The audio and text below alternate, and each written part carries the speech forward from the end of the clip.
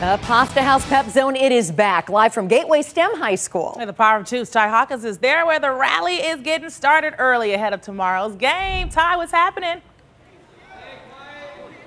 A lot is happening. It's silent right now. Number three right here says he's got speed. They have been getting ready for this chariot race. We're going to tell you a little bit about it right now with Athletic Director Sean Kenny. Thank you for joining us this morning, Sean. What do we have our students doing this morning? So this right here is what we call the chariot race. We got one student wrapped up in a bed sheet. They're going to run on down the gym floor, come on back, and swap with another three.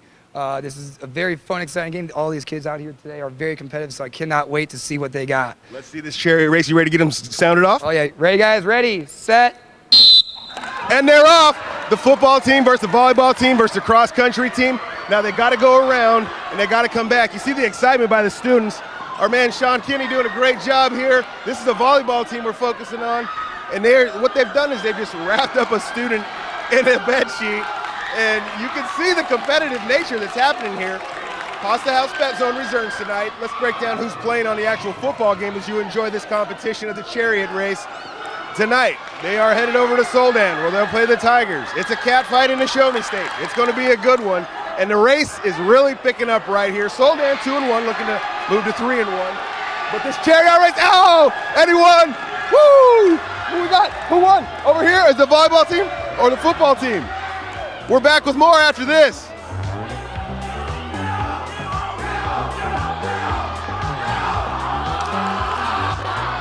I need to get him. I need to get him. How's it feel? It feel good to win, man. What did it take for you guys to put this together? This team, man, wonderful people. Wonderful all people. of them, all of them. How's it been so far this year for you school-wise? It's been good. It's been good. Doing good at school. A's. A's, A's, Uh, A's. So we got the cat. We got a cat fight tonight. You guys going to Soldan. How you guys feel about the preparation this week? I feel good. We had a good practice.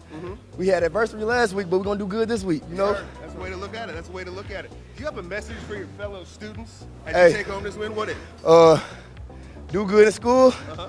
And bring the home, bring home the W, man. That's what y'all do. That's all I got. All right, Frank, hold the W. All right, good job, fellas.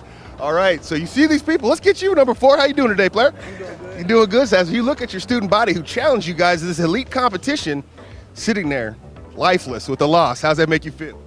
Man, they just gotta get this win. That's all. I You just came to get the win, They huh? just gotta Came get this win. If there's a message you had to share with anybody out there who's not familiar with Gateway and what goes on at this school, why are you proud to be a Jaguar? Proud to be a Jaguar because we all brotherhood. We got a good brotherhood. We stay together. We stay together no matter what. We The got each brotherhood, right? The brotherhood, the brotherhood. You guys want to break it down for us real quick as we uh going to wrap up this break? We got the pasta house.